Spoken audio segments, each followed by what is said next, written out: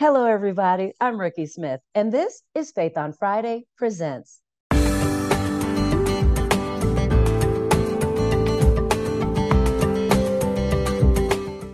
At Faith on Friday Presents, we're all about highlighting inspiring people, engaging topics, and small businesses. And don't forget, while you're here, subscribe, like, and share us with your network. We want everybody to know how good we got it over here. All right, business owners, today is all about for you. So, you know how you go to networking events and you have, they ask you all the questions like, what do you do? Where can I find you? And you try to send people over to your website. What does your website look like? Is it a hot mess? Can you fix it? Can it be better? What does anybody even care? Today, I want to introduce you to somebody who says that the internet is a jungle, and he's going to be our guide through it. Y'all, please say hello to my friend CJ Gilbert. Hi, CJ. Hello. Hi, everyone. Thanks so much for having me here today. Oh my gosh, the pleasure is all mine. Okay, talk to me about the Indiana Jones hat because I'm a fan. You got it. Absolutely. So, as you said, the internet is a jungle. And when I say that to people, they they love that. They really resonate with that because everyone has that experience of being lost of think you're headed down the right track and then you just feel lost in the end. You went down the wrong and you went down the wrong street, you don't know where you're headed, or you end up stuck and alone, or you've tripped into the quicksand and you can't pull yourself out of it, or there's scary noises and you don't know where they're coming from. And so I advise people to join up with a tribe of people or hire a well trained guide so you can be led through the jungle and get where you want to go. I love all of that. And I'm sure many of us watching it have been there, especially the quicksand, the scary noises, and oh my gosh, so, CJ, tell me a little bit about how you got started because you have a lot of experience, my friend. Yes, absolutely. Well, it's no surprise to those that hang around me that I've been a computer geek all my life. And so it was very natural in the year 1995, the internet was born. And I was in high school, and a couple friends of mine uh, were fortunate enough to work for another friend's dad at his computer company. He uh, built computers and serviced them. Uh, and so he needed a web team to start helping people with websites. And so that's where I first learned about it and started playing around with it and have tinkered with it kind of ever since then. Uh, and then through a series of events, ended up opening my own company in 2006. And I've been doing it full time ever since. Is phenomenal. So I love the web guy. So you are a self proclaimed web guy why does anybody need a web guy? Because, you know, websites, everybody can do them now by themselves. You can do it on Wix. My gosh, GoDaddy has one. And I mean, you could probably buy a website at Walmart. I'm just putting that out there, y'all. So, why, what's the big deal about the websites these days? Great, great question. So, the very first thing I want to talk about is the importance of a website. And I get this question all the time because people are like, Do I even still need a website? I have Facebook, I have Instagram, right. I have, you know, whatever they're using, right? And I say those things are great because that's where your people are. Those platforms are fantastic because that's where people are and if you hang out there you'll be able to talk to people. That's what we're trying to do is connect right, right. but here's the biggest thing. If you hear nothing else i say the entire time hear this one phrase. Your website is the only thing you can fully own and control on the internet whoa, that right there was the worth the price of admission because you've seen it in the news. Everybody's boycotting everything. Folks are taking over stuff. The you know the rumor that this platform may be gone, so you need to move over to another one. But you just said the only thing you own is your website. I That's love right. that. Why do I care that I need to own my website? Absolutely. You've got to have a place that you can own, you can control, you can publish, and you can decide what gets published there and what happens to it.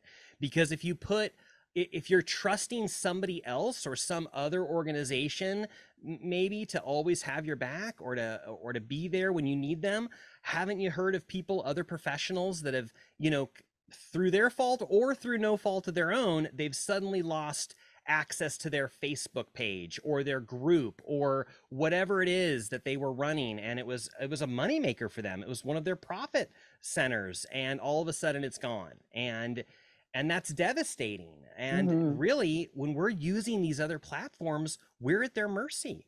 And so it, it's it's the double-edged sword, right? We need those platforms. We want to be on them. Again, that's where the people are. I think you should be educated and use those. But I always also want you to remember in the back of your mind, your website is the only thing you can fully own and control. That is so crazy and so true. So everybody in the business has a website. Everybody who starts a business think I need a website and they go out and create a website. What's the difference between a really phenomenal website and did your kid do that for you? That's a great question. And I do advise people to have a professional looking design because it is true that there's a lot of tools out there that make it easy to create a website, but it may not look the best or it may, you know, you can kind of tell when you look at a website if it's a really professional, polished website or mm-hmm. if it looks, you know, like someone kind of threw it together. Sure. And it, whether it's fair or not, mm-hmm. that's mm-hmm. people's first impression of you and your business. And wow. if they think that you're sloppy with your website and how you're presenting yourself, they're just going to assume you're going to be sloppy with your own business and your services. That is so true. And like you said, fair or not, it is the reality of doing business on the internet. That's right. Because when you go to these networking events, and we've all been there, you go to the networking event, you have 2,000 cards that you're going to pass out, you know, whatever, like hors d'oeuvres. And the one thing that people do, they go to your website or they'll ask you, you know, do you have a website? And they go to it and they are going to determine quickly what kind of person you are, what kind of business you do, and if you're going to worth be worth my time and money.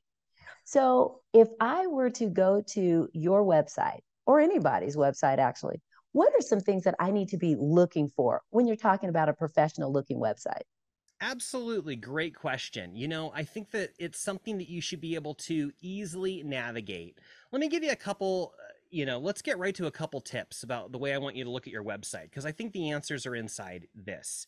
And I like to teach people that I believe your website is your number one tool. Because mm-hmm. it's the only thing you can own and control online, it's therefore your number one tool to, to uh, grow and support your business. And if you think of it like a business tool, then you can begin to use it as a tool for your sales and your customer service, and what I also refer to as your search.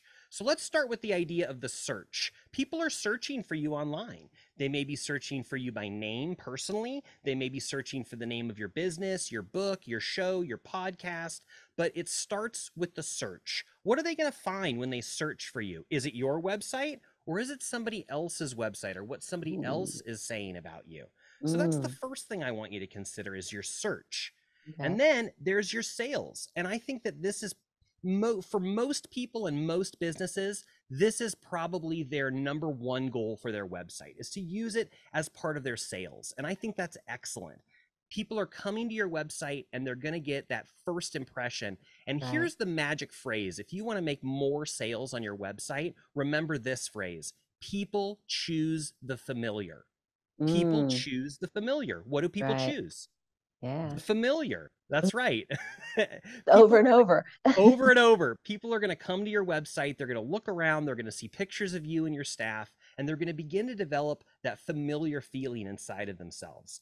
And then when they're ready to make that buying decision, they're going to look at that familiar feeling. They're going to look at that feeling and they're going to use that to make their decision. That and we so used good. to think people made a buying decision based entirely off of facts and reason and logic. And now we know that's not true at all. People make their decisions entirely off of how they feel and then they justify it with the facts. So I say we do both. We let them get to know us. We also give them the facts, give them the information that they're looking for, but yeah. keep in mind they're getting to know you and that's a really important part of them choosing to do business with you true story wow I, i'm i'm just struck i'm i'm taking mental note but I get to go back and look this 500 times and write Absolutely. down everything.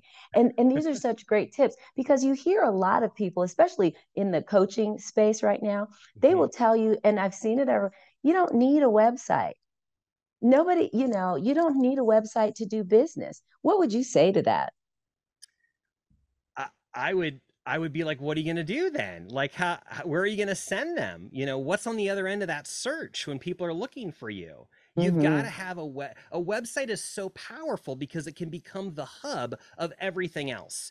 I I now encourage people to use their own website for themselves.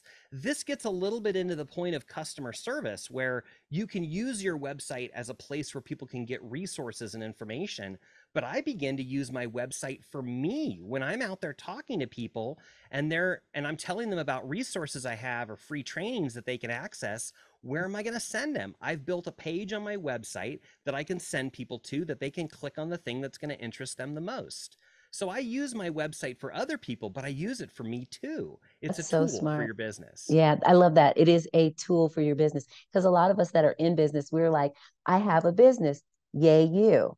I'm really good at the thing that I do. Yay, me. Right. People that I've worked with know that I'm really good at my stuff. Yay, us. But I don't, there's no place that anybody can find me. You Yeah. know, word of mouth isn't all the thing. So CJ, this is so cool because you you mentioned earlier that professional looking websites really matter because again, Mhm. that whole first impression episode. So I have a website, says a business owner, and it's really good. Does my website need to have 50 pages and 25 tabs to be professional? Oh, great question. No, it does not. A website can be as simple or as complicated as you need it to be. And I always say start simple. Start with the thing you need now. Maybe it's your logo, then it's then it's your picture. Oh, let's add your name. How about your phone number? Maybe your email address. Maybe a couple social media links. And you know what? It just starts building up over time. Start See, and I simple like and that. add as you need it. Yeah, I, I I love hearing that because you know sometimes being a business owner already already is a little daunting. Absolutely. and then you add on top of that, oh, and you need a you need your business cards, you need a team, you need this. And now you need a website. Holy cow, I'd rather not. Never mind. I'll just go back to work at wherever. Right you know, so Yes. Saying, you know, get you a professional, somebody to help walk through walk you through this. So now I'm looking for a professional. What do I need to be looking for? Uh, great questions. You want to you want to see what what's on their portfolio, see some of the websites they've created, see if you can hear what their clients are saying or even maybe talk to some of their clients. It's really difficult for someone to choose a professional in an area that they don't really know about. How do you know what questions to ask? How do you know if you're asking the right questions? I actually recommend that people use their website as a way to to teach some of that information. You know, one of the things you can do to aid your customers on your own website is a frequently asked questions page. That's a place where you could answer questions that people are asking before they want to work with you. And I also say add some should be asked questions because again, Mm. people as they're looking to do business with you, they don't even know what they need to ask yeah. kind of ask it and answer it for them ahead of time. And Oh, bonus tip great.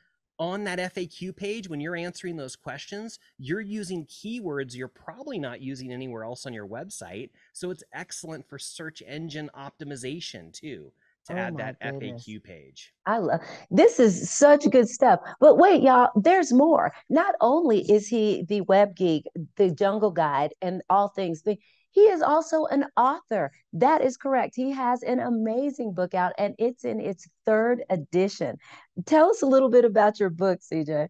Absolutely. You know, I mentioned I opened my business in 2006 and I started working with local business owners in my area. And I found out really quickly that most business owners know they need a website, but they have Mm, no idea what to do with it. And mhm. that's when I just started writing down some of my thoughts. I thought back through my own experience of working in different companies. I had different roles over time. First, I was the, the file clerk, and then I answered phones, and then I helped them with the computers, and then I ended up driving a truck, and then I was in customer service, and then I got into sales, and then, you know, I learned all these things. And so now when I sit down and I ask myself, what is a website supposed to do? I realized it's supposed to do all those jobs I was doing all along. It's supposed to be used as a sales tool to help people guide guide people through your sales journey and provide the the information they need along the way. It's supposed to be a customer service agent. I don't know about answer the phone, but it can answer questions. It can And provide that is so great because we're looking for these books, we're looking for these tools. And your book is actually called The Five Golden Keys to Sharpen Your Website. Mhm. And if you all are looking for a way to sharpen your website, you need questions to ask, you're not sure where to begin, this book is a rock star resource. And yes, it's on Amazon. Yes, shameless plug, but don't worry, we're going to have that there too. So, G- CJ, do you also do coaching uh, for people who need help with their websites? Yes, absolutely. I would say half of what I do is the building a new website from start to finish. And then the other half of what I do, I call it web coaching. And it basically means I'm working with someone just like this through Zoom or through some platform like this mm. and we're working on things it could be a strategy conversation why do i want to do things do i need a landing page do i need a sales funnel do i need social media or email marketing or it could be we're logging into the website, we're making changes, we're we're adding things right then. It's usually a combination of both. That's cool. If mm-hmm. somebody wanted to work with you, CJ, where could they find you? Absolutely. Uh, so my my main website is Jungle Studios. That's jungle-studios.com. And that's where you can learn about the website business. I've got a couple resources that I'll share with you too in a moment that I want you to go to get some more information. But that's the place to go to find all my main contact info. And you'd email me, call me, text me, and find a lot more resources there as well. Jungle-studios. So good. Mm, I got another question for you because again, when I started my business, I was doing the same thing, looking for where to find resources to get this, you know, amazing website up and running. CJ, there are websites that can cost you $5 or $15,000 to create. What is the difference between those and why does why can it cost so much? That's a great question. Um, I've actually got some YouTube videos that go into this a little bit deeper, so I'll direct you there for a more detailed answer. And yet, for now, I'll just say there's different kinds of websites. A website can be vastly different from, as we talked about, maybe a page with a logo and a phone number. You know, what I call the business card size website but it could have more information. It could be a long landing page or sales page. It could be multiple pages. It could be more complicated. It could have e-commerce functionality or membership portals or, you know, all kinds of things. So websites can be very little, very big, and everywhere in between. And so, depending on where you are, will depend on what you need and how much you're willing or needing to spend on that website. Is that about exactly. right? Exactly. Exactly correct. It's all about what you need it to do for you and your goals and your target market there and that's a whole nother conversation. Y'all this is such good stuff and i hope you brought out your pen and if not just watch it over and over and over. And don't worry i'm going to put all of cj's contact information in the description below because i want you to get out there and find him because who wants an ugly website? Nobody. It's like having an ugly business card. Nobody wants that. Oh my gosh. Cj my friend before i let you go we got to play a game. Okay all right, so this game is called This or That. It's pretty simple. I'm going to give you the choice of two, maybe three things, and you just tell me which one you like the best. Hmm. Are you ready to play? Okay, I'm ready. All right, here we go.